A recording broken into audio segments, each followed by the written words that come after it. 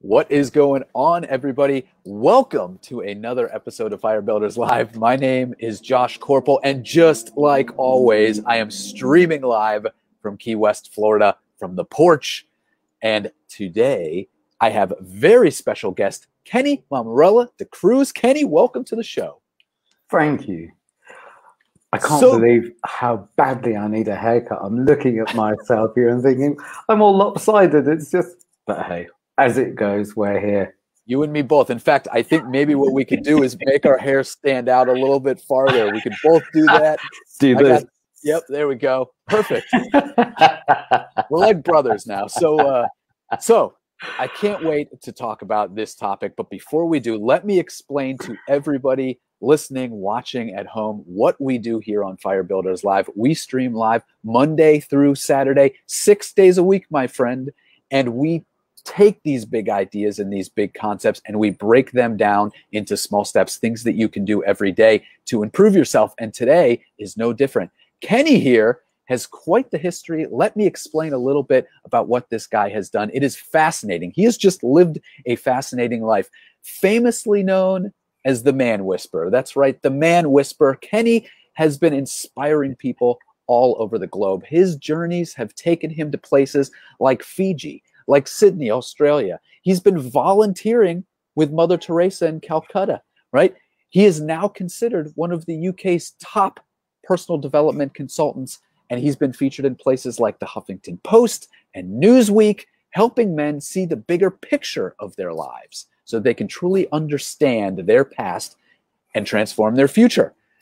And I'll tell you, we'll go into it a little bit, but from an absolutely insane story of being declared enemies of the state by Idi Amin's Secret Service back in 1972 to understanding the different tribal rules, the ways of being, the belief systems, all the outcomes of various groups around the world. He helps people live happier and more fuller lives the way that we all want to. And that, my friends, is why I am so excited to have Kenny on the show. Kenny, it is an absolute pleasure. Welcome again to Firebuilders Live. Do you know what? Listening to you, I'm so excited to meet this bloke. Who is this guy with the crazy hair? I tell you what, uh, it's going to be so good. Honestly, the more that we dug into your style, the the way that you approach these types of problems, the way that you help people throughout the world, it was incredible. I mean, we we both both Brian, my production coordinator, and I, we were just aghast at like at all of the cool stuff that you've done. So, man, I just have to say, much respect to you. Much respect. Thank you. Do you know, to be frank, I couldn't have planned it. I couldn't have worked that out. Um, I guess in a way, um, I handed my life back to wherever I need to be, whatever I need to do. And then life really began because in control from my head, trying to put on a good show, I think that would be limited to what I've already had and it would go nowhere. Being in control, it's like good for survival and stuff, but to be able to follow life and to spot the clues and the signs and the temptations and the opportunities, these things can only come from, for some people, it's the little cracks in their lives where there's a little moment of out of control and then some goodness that slips in. And I realized that the best people in my life, the biggest opportunities, the coincidences, all of those, the magic happened beyond control. So I thought, that's permission. exactly like i i think i honestly i think that what you said about control and we could touch on this a little bit more on the show because actually for those that are listening uh, both kenny and i we went through about a little over two hours together last night. Kenny was kind enough to stay up until past midnight uh, with me his time so that we could go through and talk about some of these issues things that he does. It was in to least uh, the thing that you talked about as far as control i have i got some really incredible insights and i think that you're right i mean i know that you're right uh, i just think that it's so important to kind of let that control go but before we go any further i do like to ask just so that we can get some context here where are you in the world?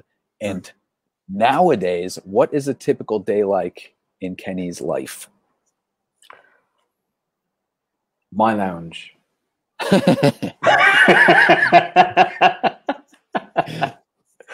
Luckily, it's a nice lounge. I'm in London, um, and I'm in the East End of London. I live with my wife, and uh, I do spend God knows how many hours in my lounge, and I've got a standing desk and a kneeling stool and a ball to sit on, and you know, it's like I'm in my lounge day and night. I'm in my lounge, and I must admit, I am absolutely loving it. It's worked for me. It's really, really worked. Um, and it's been life changing. And in a strange, I used to say, you know, you mentioned the Mother Teresa thing. I used to say that the most useful I've been in my life when I was is when I was working in Calcutta with dying people. Since lockdown, this is the most useful I've been in my life, without a doubt. And from my lounge, I remember a few days before lockdown when um, I went into um, isolation because someone I worked with had the COVID symptoms. So I said, best go into isolation. And from my lounge, working and you know zooming, um, I kept checking out of the window, and I expected to see the military. Uh, and I kept listening out for gunshots. I, I, was noticing that there weren't gunshots. I wasn't even listening for them.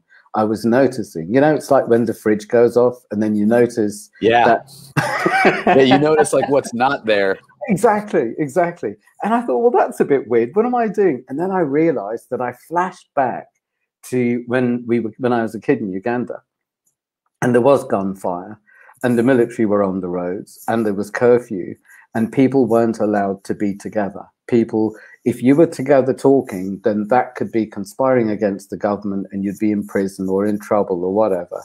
And you know how it is with the military. Well, maybe you don't know how it is in the, in the military, but in, in a lot of countries, they get drugged up because then they'll do things that they wouldn't do if they weren't drugged up. That's the way it goes. And especially if there isn't money or whatever. And also, people who haven't had power suddenly have power so I flashed right back.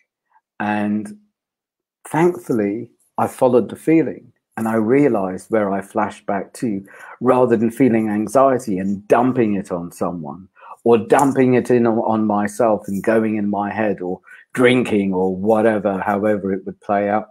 And then a few days later, the country went into lockdown, and I thought, stuff's going to be up. Stuff's going to be up big time. And what I can do now is I can put on daily groups so people can show up and they can name how they feel and they can name their fears and their fantasies and how life is and what's going on. And just in speaking it out, it breaks the spell. And no longer do they need to fix it or fear it or feel like they're on their own or push it out on you know loved ones. Domestic violence rates have gone sky high.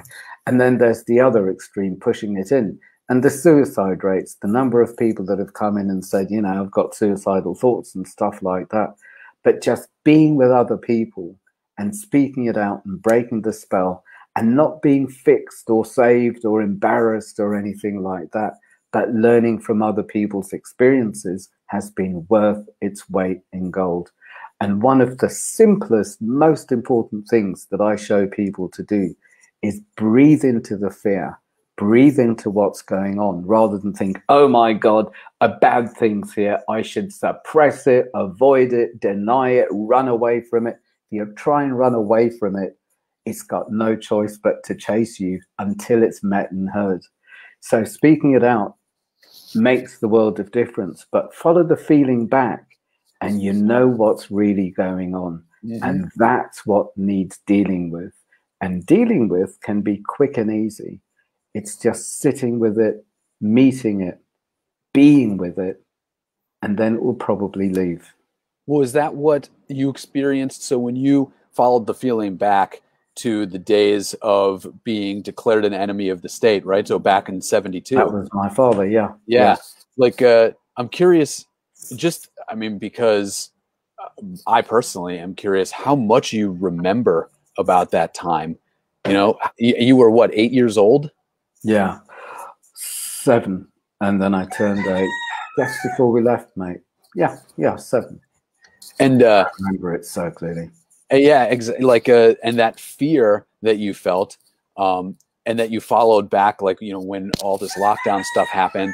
The idea was that you could follow that fear back to those emotions that you had when you were younger, right? Yeah.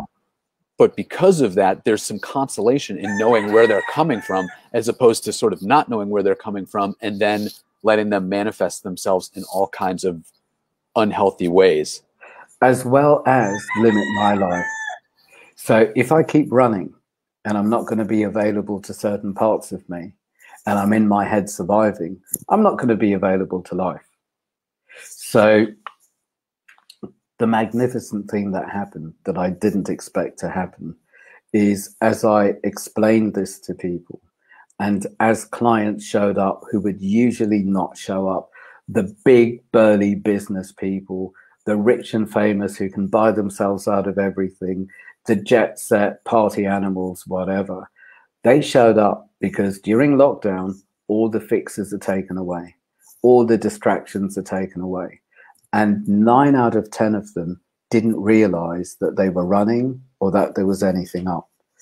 And very, very quickly, we dropped into it and they flashed straight back to boarding school or whatever their trauma is, or being locked in the laundry room for being bad, or their abuse, or even if it's something small that affected them because it doesn't have my story's dramatic, so people like it doesn't matter how dramatic it is. Being bullied in the playground is bad enough. Yeah, I feel like that that could be incredibly dramatic. It's like drama is sort of based on context, right? So when you're a kid, that's the most important thing in the world at that exactly, point. exactly. And it's about the relationship to what happened. It's got nothing to do with how dramatic it is. It's the same with money. So many people chase money, chase power, etc. And a lot of my clients pretty much have everything. And then they realize that it hasn't brought them happiness or passion or intimacy or purpose or anything like that. It gets to a stage where the money owns them rather than them owning money or wealth. And what really makes a wealthy person for me is their relationship to their money, their relationship to their lives, their relationship to what they do, and who they are and why they're here, how fulfilled they feel. And you can't buy that. You can't do that, but you can be that. And that happens in the undoing. So the people I attracted since lockdown, phenomenal in the way that they found the issue. Firstly, something didn't feel right, something wasn't right. So they showed up, we quickly got there, we turned it around. And now they're living so much more fulfilled than when they were like jet set party animals. It's ridiculous the quality that this has brought. And it's not just busyness, it's the intimacy, it's the purpose, it's the passion. Most of you know, with with most things, if they don't work, just unplug it for a little while. right, just exactly unplug it and then plug it back in, kind of thing. Exactly. the I'm I'm so the people that you're working with, I mean, I think it's important to to touch on the fact that these people that you are attracting and that that are coming to you with problems, they have achieved great things in their life from a financial point of view or from a business point of view. They, you know, they've worked for the last 30 years or so, head down strong, um, mm-hmm. building up incredible things. But yet, when they start to have these realizations, is a is a massive concern that, that they've just not wasted so much time, but that they only have a short amount of time left. They're starting to realize that, and they're you know, they're starting to reflect on like maybe their own mortality and the things that they could have done but not necessarily did. That bit doesn't last too long. Um, and the reason that doesn't last too long, it's important for that to be named and to kind of visit that but to realize that some people, some, it's not even people, for generations, people can never realize this. and it's build the wealth, save the wealth, become famous, um, or or it's inherited or whatever. And it's supposed you're supposed to be happy that you have the status and everything's kind of like hunky dory. But if it excludes this person, if the whole family are used to being excluded from love or from passion or from purpose, but keep the wealth coming in or put on a good show, what's the point? There's the, to be excluded from your own your own life. What could be more tragic than that? And some of them, they're not all wealthy, and they haven't all worked for it. And some people are actually quite happy and okay. They just realize that it's time for more. I've outgrown my life. I want more. I think that's great. I uh, let me bring this up because as you're talking, I think this is important. So, uh, so Tara said, personal abyss manifestations. Well, doesn't that take courage to give light to? I think that everybody has that and has the ability to do that. So it does take it does take courage. and When we discussed that yesterday, the yeah. the idea of putting that vulnerability out into the world, uh, and also Born Bright, who's a friend of mine down uh, in Africa. He uh, Kenny, what are the principles of true leadership? I think in men, it's not men's, but just in mm. men in general. What would you say to that? Listening, collaborating, and um, being true. I believe one of the main differences between boys and men is boys make a lot of noise to prove their masculinity uh, and need to have power over in the hierarchy, where men, it's more about being than doing, not really having much to prove. It's not about proving because that would mean I feel less than and I need to feel, to show you that I'm more. So men are in power and can empower others. Men can listen and respond, where boys generally don't listen and they react. And reaction generally comes from fear and panic. I mean, there is a time and a place for reaction. If there's danger, react. But as a way of life, that's toxic. That's a lot of cortisol. And I know that through the traumas that I had in life, my body was addicted to adrenaline.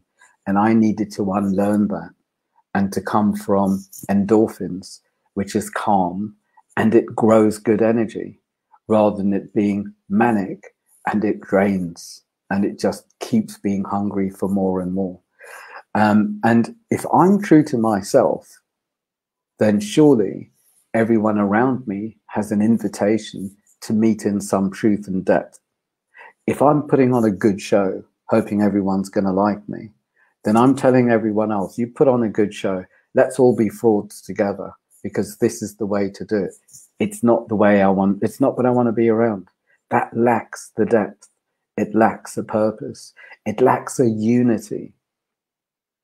One of the really interesting stories that you told me last night was about um, was about uh, uh, hunting lions, right? And uh, and the group and how that works. Uh, do you want to? I think it was a great example. I think people would love to yeah. hear that. I met this excellent guy in Kenya, and um, thankfully, he spoke perfect English. And he told me about his initiation into being a man. And, um, you know, there are stories going around about you have to kill a lion. But what I didn't realize was that he gets prepared. The whole village, the men get prepared to go out into the jungle together. Well, I guess they kind of live there, but to go out together and to come from the right place. And for me, this is the intimacy amongst men and the trust in working together. Because the object of the exercise is that he kills a lion. In order to do that, as men, they need to go in quietly together, risk all their lives to surround the lion so no one gets killed and he kills it, not anyone else, but he kills it and to be risking their lives and going in as a collective consciousness and being able to communicate with each other and be that in tune to do something with honor and respect. There's all, it's all, it almost feels sacred in a strange way. I mean, totally socially unacceptable to say this, I guess, but I'm telling his story, and oh my God, I was so, so blown away when he told me about how it was and what it was like coming back to the village. There's another part of the story that I didn't tell you about. This is a bit of a oh, cheeky part. Hit me. we got on great, and you know, we had some really great chats. And he said, "Look, why don't you come and stay in my village tonight, and you can choose which hut you want to sleep in." And before I did that, um, my my father was born in Kenya, um, and he my father kind of knows some of the tribal languages and customs and things. He used to drive trains between Kenya and Uganda, um, and he's basically said, "Do you realize that if you sleep in, you choose which hut, and which wife comes with that hut, and you put your spear out outside the hut." And that means that you are in this hut and no other man enters and you're obliged to um, be with that wife. And if you don't, it's a huge insult. So I didn't stay over. no, you didn't. Were you married at the time? I wasn't, but that idea of community, like I had no idea that that, that they had that sense of that sense of community. The story about the lion is one thing, but then also like the sharing of of love, like the you know the sharing of each other's wives and stuff as an act of respect to someone mm. coming in. I had no idea, no yeah. idea. And it's so easy to judge from our perspective of what's right, what's wrong, how should how things should be, etc., etc before I left the UK, as, as, you say, I traveled around a lot of countries and did a lot of things and, and took part in, really took part as much as I could um, with various cultures. I thought I had an idea about good manners and respect and, you know, how to be with people. Wherever I went, my God, I had so much to unlearn about my conditioning, my separation, my bad manners, how separate I was. Um, and even in their culture, if something was totally different to my culture, I needed to experience myself coming from there to really question what is true for me. Not what do I judge as good or bad or, or right or wrong, but I needed to know myself there. And I have learned so much about myself by being accepted by different communities. It's been it's been the hugest, biggest lessons in my life, and it's opened me up. You could say it's opened me up to vulnerability. It's opened me up to life. It's opened me up to people. It's opened me up beyond restriction to possibilities, to love, to connection. Sounding like a hippie now. Eh? No, but it sounds like it totally. I know so many people can relate to that. And when you say you know you had to unlearn things about what was right and wrong because because there are people that you meet along the way who have who have convictions just as strong as yours but might be the exact opposite actual like procedure you know or or custom that you start to learn that there is no right and wrong there really is just like you being in that space and and, and experiencing this from a completely different perspective and that's yeah. what's so so magical about about traveling if you do it right. I uh, I, I 100% agree. I can relate to that. And we were talking about India, like mm. India. I got a lot mm. of that. Mm. And the interesting thing is sometimes it's so much easier to relate it to India, but to bring it back home and to be in at loggerheads with a friend or a colleague or a lover or whoever and have an argument rather than realizing actually, not only am I right from my perspective, but so are they. And now what are we going to do? Now, where are we going to meet? Now, how do we take this further? It's fine to do it out there, but the only thing that exists is here and now. You know, as as we talk about this, right? And let me touch on this because everything that I'm about to say from this point forward is my own personal experience with what we talked about yesterday, how we went through this whole process, which I thought was fascinating, by the way. Uh, but one of the insights that I came up with after listening to what we did was your idea of of being present in the moment and what that means you know what that means as far as an opportunity to experience things as opposed to this protective sense of you always looking forward always you know pre-planning and making sure that you don't do anything stupid very mm-hmm. systematic very regimented but in a way that ultimately just tries to stop you from not doing anything dumb and dying or falling off a cliff, right? Well, it occurred to me that in places like India, where you you didn't know what was going to happen, you could not that side of you, that protective side of you, came from a place where where it was just my experiences, my you know what I've experienced in the past, but it had no bearing on what I would experience in the future in India because it was so different. And because of that, it quiet that side of me quieted down. And that free spirit side of me instead was able to live on and, you know, and flourish and whatever. That when I feel excited about talking about India, that is exactly why. And I realized that this morning based on, and I feel like that's why a lot of people love travel because they can't predict what's going to happen. So it lets yeah. that side of them quiet down and that free spirit, risk taking, like beautiful, dynamic side of them absolutely thrive in that environment. So, can I throw something back at you that sure. I said earlier myself? And earlier it was said that the way is to be out of control. So, based on last night, what would be a, a safe or a grounded or a realistic, a wise way to be out of control without being stupid, without taking dumb risks. Are you asking me right now? Yeah. Okay. what would be a way?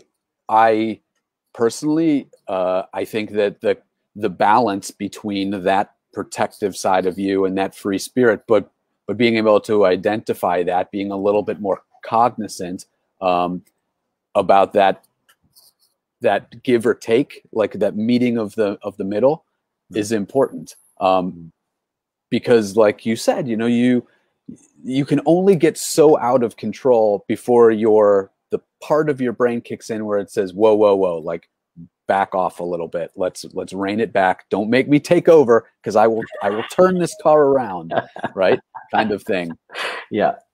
But but finding a balance between that voice that everyone has in their own head and the voice that says let's just go out and do it. Let's mm. just go out and explore and not worry so much and see what happens. Uh, I find that to be fascinating. And it's your approach to how to get in touch with both of those sides. I've never done before. And I thought it was, I thought it was incredibly effective. I love it. It was such a buzz. I love being in that space. And it's different for different people. But the amount that can be done doing it that way in two hours.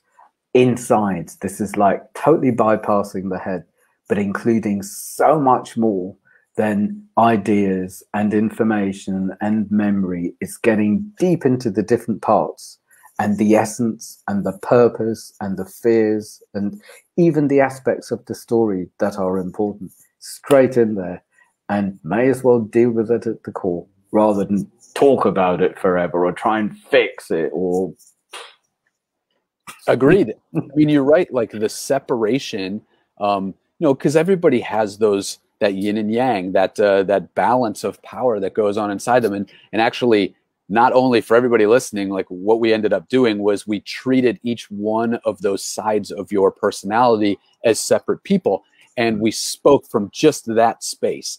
And you actually did something really cool which in retrospect i'm like yeah it makes total sense was you had me move physically to a different location right? Talk about you know one side of the personality then go back reset move to a separate location talk about the other side.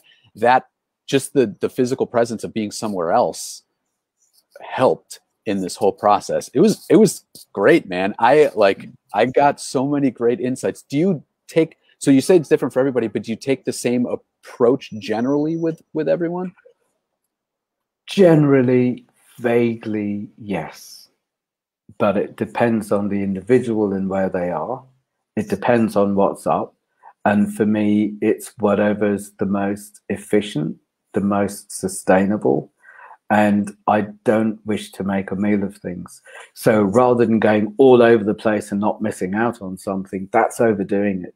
It's getting to the core and basically empowering you so you know how to do it. It belongs to you. It can't be taken away. You know what it feels like. And my favorite bit was as you took a position and it was like, how do I do this? And within a few minutes, you've moved into it. Your face changed, your body changed, your breathing changed, your voice changed, and you were so embodied in what I believe to be the most important position to move things forward. It was magnificent to just see that change before my eyes so quickly. You were there. I could see you. I can't wait for you to see you there when you watch the recording. I haven't been able to watch it yet, but I will, and I'm going to look for that because you're right. I felt it. I felt the change. I really did. I'm not just saying that. I really actually did, uh, and I've never felt that before. So that I can't wait to watch it. I can't wait to see what the hell I looked like. you know, I uh, I did want to ask because I think it's a good question. As we're, I mean, we're talking about men. You're the man whisperer, for God's sakes. Uh, but I'm sure that you have had this before, and I think it's it's um, it's important to bring up wisdom thoughts from for you know for women for the female side of things is it any different is it vastly different than what you would say for men i wouldn't say it's vastly different but there are differences um, and the main differences i would say are the experience of the vulnerability of a woman um, you and i can travel india and africa and wherever we want if i was a woman on my own I'd think twice before going to the shop late at night. Here, very, very different experience. Plus, to be protecting myself throughout my life, especially puberty and being a woman as a sexual being, other people's projections, etc. It's absolutely shocking how many men have been through abuse, including sexual abuse a lot more than people would realize, a lot more than the men even remember sometimes. And it's off the scale with women in comparison. And that is a huge difference in the spirit of a woman. Um, and I would say another very, very important and often avoided difference is hormones. I cannot imagine what it's like to have female hormones that change, not only once a month, but before, during, and after having a child, perimenopause, menopause, and everything else. I can't imagine that in a million years. I know how I change with when the full moon's brewing, and a lot of men, the days before a full moon, can be very charged, emotional, vulnerable, and that generally becomes a short fuse and anger. It's just a lot more charged. I know what it's like to have testosterone, and that drive me totally bonkers for decades. And I don't think a lot of women can understand that. Um, and generally, it's like, well, how do I control my unruly child? And this is mothers and fathers. By no means am I blaming women. And generally, sadly, that's humiliation and abandonment, or these days sticking him in front of a screen as well. But it's this these, humiliation and abandonment, as in that those are the methods to control the child, as yeah. opposed, yeah. And every man, I would say, fears humiliation and abandonment probably more than anything. And the most hilarious thing about what men make personal is women's hormones. It's like, how do I fix that? What have I done wrong? What's it got to do with you? Yeah. Try and extend as much as you can to what she might be going through and ask rather than, oh my God, I must have done something wrong. How do I fix this? And making it all about poor little man me. There's so much that I will never, ever perceive of. And we need to find out. We need to be talking about these things. And I'm totally all for equality. And this surely needs a sharing of information so we can support each other. I think it's tragic the way people don't know about hormones and make allowances, including in the workplace, including the space that women need in at certain times of month, rather than putting on a good show and carrying on as they are, including the space that men need, because my wife knows at least a couple of days before the full moon and at the full moon i need my space. I need to move i need to stay up i need to go out with my friends i just need some space because otherwise i'm going to be like american werewolf in london. I, that's that's interesting. I've never heard about guys reaction to a full moon like that. That i've never Yeah. heard of that before. Um, apparently there are statistics. Um, i've been told that there's a lot more crime violent crime. Uh, there's a, a lot more well i i in the days that we were allowed out i would plan where the if there is a full moon then for the days before the full moon i probably wouldn't travel home too late on the underground because there would be a sex vibe. There'd be a lot more drinking. There'd be a lot less inhibitions. There'd be a lot more leeriness going on. And i just can't be bothered with it. So i planned when there's a full moon i know that my phone's going to be busy. I make space in my diary because there are going to be people that need some attention and i'll account for that. And i know that the boring stuff that i wouldn't be able to do them during the month admin or whatever it is i'd save it for then and i would bang through it like there's no tomorrow you may as well harness the energy yeah and put it to good use. That's right. You know, I need it. to own it. Exactly. Yep. You know, I uh I down here in Key West, I mean pretty much anywhere in the states from what I understand, but specifically down here, you can request from the police department what's called a ride along where you can ride along with an officer for a shift, you know, the 6 7 hours or so No. and do do what they do, right? And uh and, Well, and not to a point where they give you a gun or anybody and then you're like, hey, come on, we're gonna go like storm this house. Like not that, but anyone can do this. It's part of the public service. And so I did this years ago, like 15 years ago down here in Key West, and it happened to be on a full moon. And the weird shit that we saw that th- that people would be doing, like you just have no idea until you see it firsthand. So I can I can relate uh, like to the fact that there's some weird stuff that goes on, guys and girls. But you know, I wonder whether this is one of the differences between men and women as well. Because you know that red mist, when the red mist drops, then the craziness is there. Someone's going to go off. I've had it. I've, I've seen it in the eyes of my father. And thinking about it now for the first time, I don't remember ever seeing that or knowing that in women. I've seen that in men where suddenly something has taken over and it's too late. It's gone.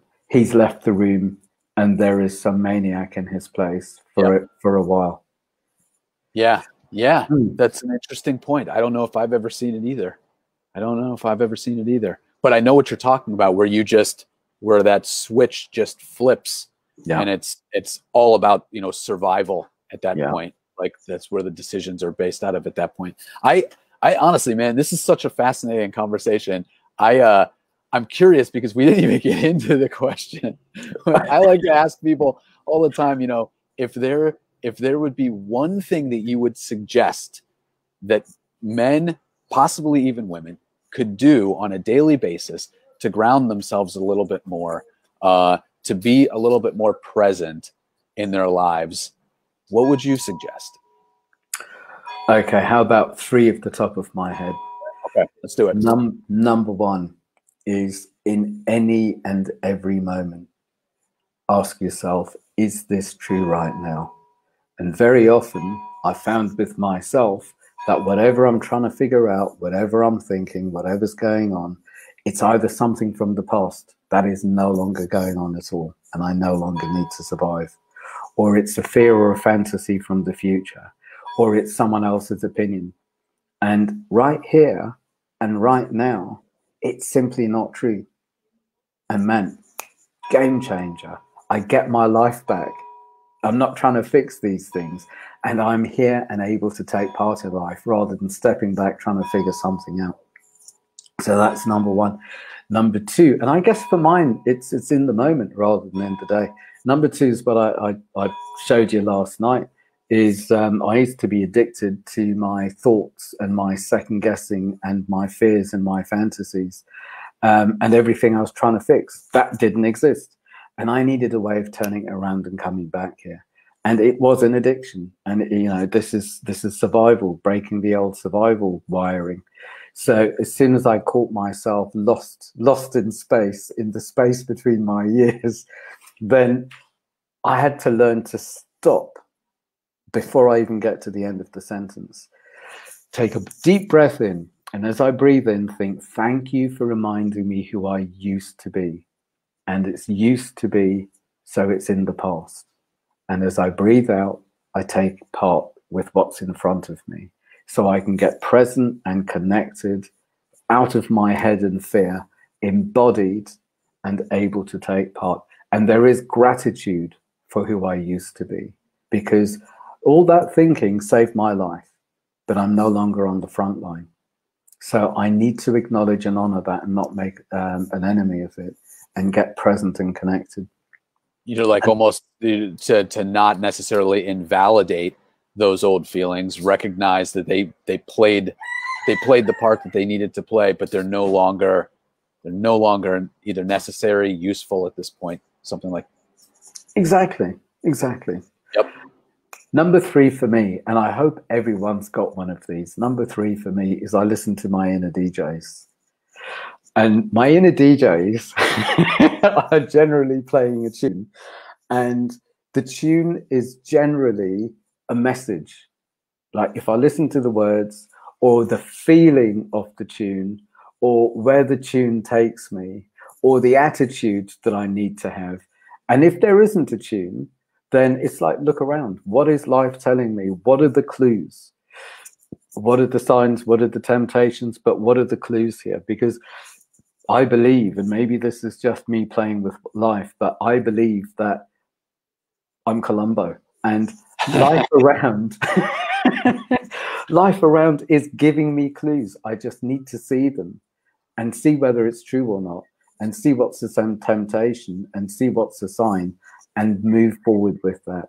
And if i'm not looking if i'm too busy surviving or with my head down or figuring things out then life can't meet me nothing can meet me because i'm busy in my head so i look for the clues and very often the inner DJs really help with my attitude, or they really let me reach inside so I know which attitude to use to relate outside. But it's all clues, and I'm not a victim to any of this.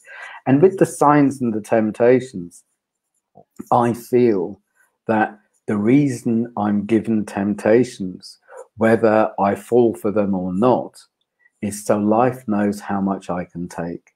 And life knows not to give me more than I can take, but to give me enough so I can grow. So I'm stimulated. So that way, life's on my side and it can move me forward gently. Do you think the the context of those clues that you see, like you see this as a positive clue, for instance, it has to do with like I guess what I'm saying is do sometimes you see what you want to see like because they're not obviously objective clues but necessarily it's just helping you to articulate the things that you either want to know or feel like are true for you in that present moment I guess in a way you're asking me, is life like Facebook and Google that that it would feed back to me? Sort of like, but, but in a way that uh, in a way that the advertisements were all blank, and you just saw what you wanted to see in that moment based on where you were right then and there. Yeah, I believe that if I did, if I used them to justify myself, then I'd miss out on the whispering, and I might get a bit of a shout from life and I might get a bit of a slap from life, and it's going to keep knocking on my door until I finally listen. And the sooner I listen, the less it's going to stuff me up, slap you around a little bit. Exactly, exactly. Yeah. And it's not bad for me when life brings things up that are uncomfortable. I believe that it's saying, here is your doorway. This is something you need to know yourself with, just as we did while we were abroad. Know yourself here and include this or release this or whatever. Because when you have, then it's no longer going to restrict you. And there's so much more of you available to life and so much more of life available to you. So it's all about more. And the polite way, the traditional way, is hover above the pain, don't go into it, survive it, and stay in that tension. It's tension. But I've found to go in it and through it is to be liberated from it. And I also feel that it might not be that safe or as good a ride if it's done alone.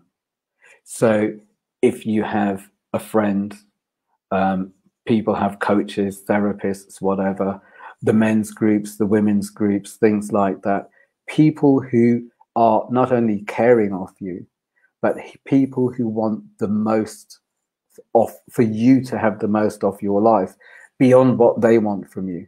And very often people come to the men's groups um, because they can find out who they are, let go of who they no longer need to be, and really make space for who they are. And no one has any designs on who they should be. We're in the question together rather than in certain friendship groups or family groups it's don't change we like it as it is right there's conditions attached exactly. Exactly. Yeah, yeah. i man i honestly i love i love this conversation. I love everything that you're saying. It makes so much sense. I have to bring up a couple of comments too that have come up since uh since we've been talking. Number one we pull this up from lyndon. Kenny i feel like you're the human whisperer not just be not just the man whisperer there many universal genderless messages in your words. So thank you. That is very nice. That's so cool. Thank you. So I didn't make up the man whisperer. I'm not that smart. Newsweek wrote a chapter in a book that I I, I knew they were doing a, a magazine article. So I thought, great. The next thing I know, there's a book out and they write a chapter about me and call me the man whisperer. How cool is that? yeah, I feel like that's not a nickname that you can give yourself. You can't even really give yourself exactly. a nickname. It's just not the same. Not the same. Uh, and by it's the way, uh, we have you have a wonderfully calming voice, but not oh. just that, right? Your hair looks perfectly so thank you so much. You're amassing fans by the minute. Uh, honestly, this has been such a great conversation. I know that there are some people that would like to continue it with you. So, uh, what is the best way to do that to get in contact with you? themanwhisperer.co.uk is my own website, and it's so embarrassing that even my clients say, You need to take that down. It's rubbish. It doesn't do you justice but it's there, and I'll I will un, I'll, I'll redo it at some stage. It's like throwing stuff at a wall because it needs to go somewhere. So you can go there, but I'll apologise now. Um, if you go to mensgroups.co.uk, um, there is um, there, there, are all sorts of freebies there. You can join the men's groups from anywhere in the world every day, and it's by donation. So and then there are women's groups every fortnight, young men's groups, mature men's groups. I, I train people. There's a day training on how to hold groups. And you can get a link to my, I didn't, oh, I'll show you. Oh, let's see. Cardboard cutout of my ebook and check it out. Can you see the man talking and the man listening in the M. Oh, nice! I can I see that. that. so that's my ebook, and the ebook gives you loads of tools, like the stuff I've been talking about, and a whole lot more to do it yourself. Whether you're going to hold groups, or do it in your business, or do it in your life, or fall in love with people and just show them how aware you are, and showing up with an open heart and all of that. But I think uh, on Amazon it's still 99 cents or pence or something. Um, and there's freebies on there. But yeah, come play and hang out. And I want to share all my tools and pass it on basically, because then I, I just get a better world to live in. yeah, absolutely. I mean, you're right. Like, uh, and it's it's a situation where where I feel like you get out of it what you put into it. So by by just simply showing up and simply just talking about a lot of this stuff, particularly with men, it is incredible the kinds of shifts that can happen. And I, I am saying this from personal experience, having talked to you last night. Like, uh, it, it was just it was an incredible experience. It really was. Uh, and so I'm so looking forward to watching you further. I can't tell you how much I've enjoyed this conversation and seriously just taking the time to hang with us and explain some of this stuff. Very appreciative. I've, do you know, one last thing actually is um, I did uh, a workshop called Epiphany on Epiphany. And it's about how to come from the place inside to gain your own epiphany. And during the workshop, I did a meditate. I haven't listened to it yet. I hope it's good, but people say it's good. And I think we've put it on the YouTube channel. Um, I'd tell you what my YouTube channel's called, but I don't know. But I'm sure on one of the websites or, or email, and I'll tell you. But apparently, and it kind of puts things together vaguely similar to what we did last night. So that might be something that people might want to listen and go on a. It's only recently I've started um, doing meditations. I, I, I was a bit shy actually. but since lockdown, it's more opportunity and it seems to work. Absolutely. And I'll uh, and what I'll do is I will search that out and I will put it into the show notes so that there's the link right there oh, cool. connected with this show so that people can go and check that out too. Yep. Brilliant. Excellent. Penny. What a buzz. It's brilliant to hang out with you. Sam, I feel the exact same way. Seriously, this has been so good. It's been 50, almost 53 minutes of a conversation, and it has flown by. Before we wrap up, um, is there any last tidbit of wisdom that you would like to leave people before you, myself, Elvis has been respectfully quiet today. Is Elvis uh, the, rooster? rooster. Elvis oh, is the rooster. I love that sound. great, great rooster. Sometimes uh, needs to listen a little bit more than he's talking. well, do you know the way I sign off with my newsletters is be the love, share the love. And surely it's as simple as that. Done. I love it. Succinct, beautiful. Kenny, you are the man. Uh, seriously, this has been so good. So that's it. Lyndon actually was kind enough to put up your YouTube oh, channel. Oh, cool. So there you go. And now you know it's Kenny D'Cruz Tube. That's Is your handle. I didn't know that. I thought someone told me it was Kenny the Man Whisperer. Maybe he's right. I don't know. There you go. And by the way, she says Elvis feels heard, therefore he is being instead oh. of yelling. Uh, Elvis, he's got a lot of work to do internally. That rooster.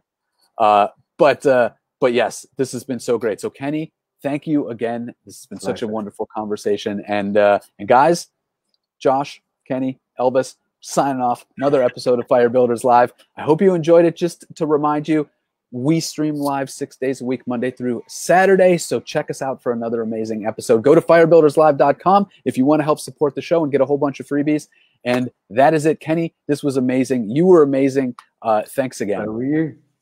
Bye. All right. See you guys. Adios.